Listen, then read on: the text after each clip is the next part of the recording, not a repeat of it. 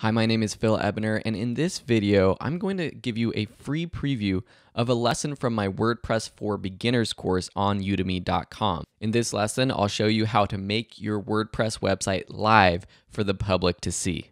Right now, your website is actually still private. And so if someone else who isn't logged on to your WordPress tries to view your website, then they're going to end up with a page that looks something like this. And the reason why I'm getting this right now is because I opened up a new private window so that I can see what the website looks like to a visitor who's not logged in. You can also do this by opening up your website or trying to open up your website in a completely different browser. So to publish your website, it's very easy.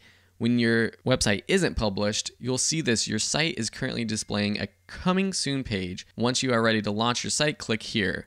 This announcement is at the top of pretty much every page when you log on or go to any of these menu items. So just click there and your site will become live.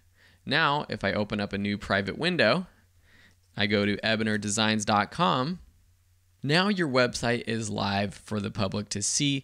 You don't really have to worry about anyone stumbling across your website uh, unless they're actually typing in the URL directly and visiting it. Or if for some reason you do have a lot of blog content or content on your pages that does somehow get picked up by Google or other search engines, but we haven't even indexed our site for search engines yet, which we'll be doing with a plugin. So if you want, you can go ahead and make your website published or if you don't, you can keep it private until you've edited it and put it all together.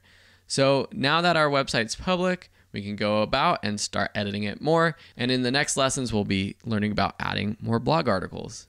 Thanks for watching. Like I mentioned at the beginning of this video, this is just a free preview lecture of my WordPress for Beginners course. The entire course has hours of content and premium support if you ever get stuck. So I'd love to have you inside that course and you can enroll now for just 15 bucks. Click on the link below and we'll see you in class.